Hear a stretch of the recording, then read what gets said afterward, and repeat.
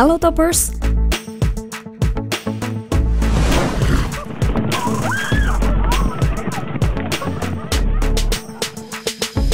Keanekaragaman hewan yang ada di dunia ini membuat manusia sering dibuat bingung dengan kemampuan yang dimiliki hewan-hewan tersebut. Termasuk hewan air, terkadang hewan air muncul tak sewajarnya karena membawa suatu pertanda alam. Tapi tidak semua hewan air seperti itu. Berikut ini sebuah fenomena ikan melompat-lompat dengan jumlah ratusan di sebuah sungai.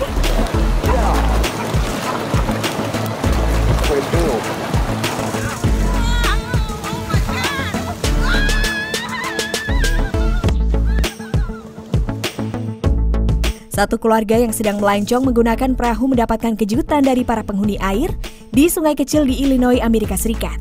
Suara jeritan anak-anak yang menumpang kapal kecil itu pun terdengar.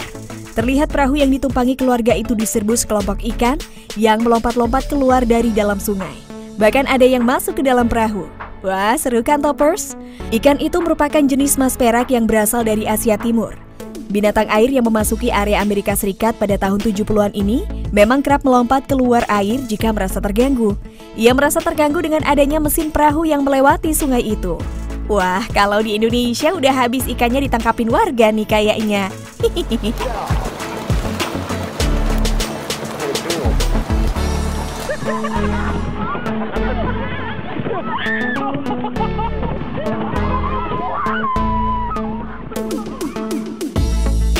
Sebuah kejadian seru juga terjadi nih di laut luar negeri.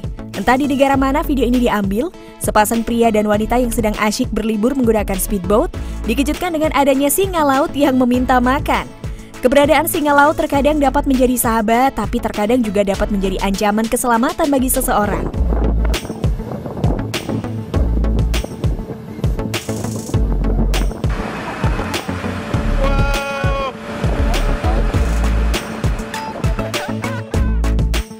Wanita ini berkali-kali memberikan ikan kepada singa laut itu secara langsung. Fenomena unik ini cukup langka. Jarang sekali ada wisatawan yang melihat singa laut lebih dekat. Tak hanya singa laut, speedboat wanita itu juga dihampiri burung yang juga meminta ikan itu.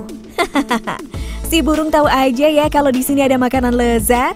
Nah, toppers, itulah sedikit hiburan yang dapat Anda lihat. Semoga terhibur ya, toppers.